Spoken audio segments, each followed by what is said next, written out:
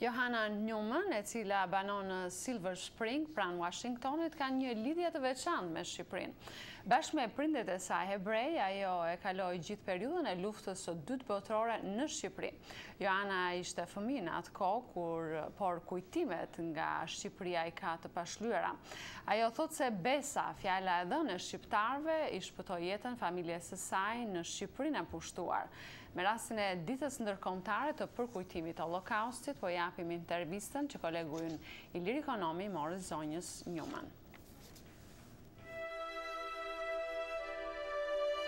Në shkurt të vitit një mijë e nëntëqind e tridhjetë e nëntë, kur në Gjermani jeta për hebrenjtë ishte bërë e rrezikshme, familja Newman u nis drejt Shqipërisë me synimin për të arritur në Amerikë. Por pse pikërisht në Shqipëri? Sepse familja e saj kishte mundur të marrë viza në legatën shqiptare në Berlin. Well, we came to Albania on March 1st, 1939. Arritëm në Shqipëri më një mars një mijë e nëntëqind e tridhjetë e nëntë, por në prill vendi u pushtua nga Italia. Konsulli i Shteteve të Bashkuara në Tiranë në atë kohë u largua për në Napoli, kështu që ne nuk mundëm të marrim dot viza amerikane dhe mbetëm në Shqipëri. Në fillim jetonim në Durrës, Atje kishte rreth gjashtëdhjetë hebrenj austriakë dhe jetonim të gjithë bashkë. Pastaj vendosëm të marrim me qira një banesë të vogël në fshatin Shkozet të Durrësit.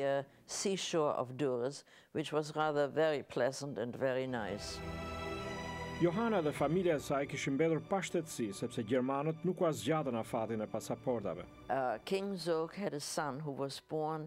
Kur mbreti Zog u bë me djalë më pesë prill një mijë e nëntëqind e tridhjetë e nëntë, nga gëzimi ai vendosi të na jepte të gjithë ne hebrenjve shtetësinë shqiptare. Pra, ne do të ishim bërë shtetas shqiptarë nëse Shqipëria nuk do të ishte pushtuar. Në vjeshtë të vitit një mijë e nëntëqind e dyzet, kur filloi lufta italo-greke nga territori i Shqipërisë, Familja u detyrua të zhvendosej në Berat, sepse Durrësi u shpall zonë strategjike nga italianët.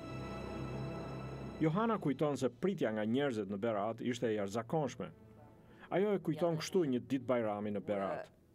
sent by all the neighbors, pilaf and baklava and kadaif and you name it, all the. Fqinjët na sillnin pilaf, bakllava, kadaif dhe gjëra të tjera të mira, pastaj na ftonin të shkonim bashkë me ta në xhami.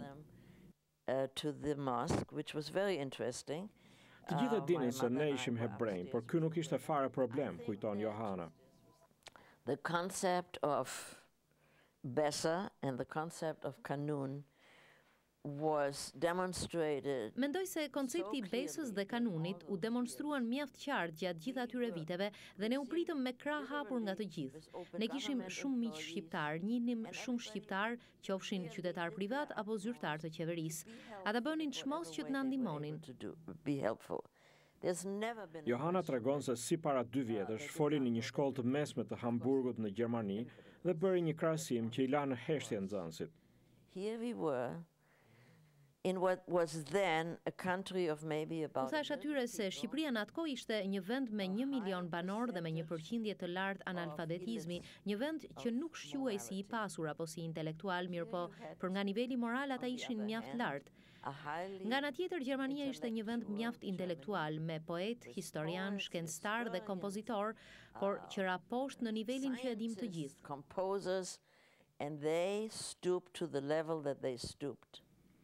Pas Beratit, familja e Johanës u zhvendos në Lushnje, pastaj në Shkozet dhe më vonë në Tiranë. Ata u ndihmuan sidomos nga një familje me mbiemrin Pilku. The Pilkus exposed themselves completely. Familja Pilku u ekspozua plotësisht për shkakun tonë. Gjermanët mund të kishin zbuluar se ne ishim hebrej dhe ata mund ta kishin pësuar. Nuk mund të gjenden dot fjalë për të lavdruar të gjithë ata njerëz që shpëtuan hebrenjtë me çdo çmim, përfshirë disa njerëz në qeverinë e ashtuquajtur kukull, si Mustafa Kruja i cili ishte në dijeni të kësaj situate. E gjithë kjo diktohej nga kanuni dhe nga besa, njerëzit kishin dhënë fjalën dhe fjala e dhënë nuk mund të kthehej. Vite më parë, një shoqe e saj e fëmijërisë, Erika Përmeti, e ndihmoi të lidhej me pasardhësit e familjes Pilku, që dikur i kishte ofruar strehë. Kjo u bë nxitja që Johana dhe familja e saj të shkonin për një vizitë në Shqipëri në vitin dy mijë e shtatë. Kur arritëm në aeroportin e Tiranës aty ishte djali i familjes Pilku. Ishte e pabesueshme që po takoheshim pas gjashtëdhjetë e dy vjetësh. Ne ishim ndarë kur ishim dymbëdhjetë vjeç dhe luanim bashkë. Johanës i bëri përshtypje të thellë pritja në Shqipëri. Ajo vizitoi Beratin, Lushnjën dhe Tiranën. Por në Durrës pritja ishte e jashtëzakonshme.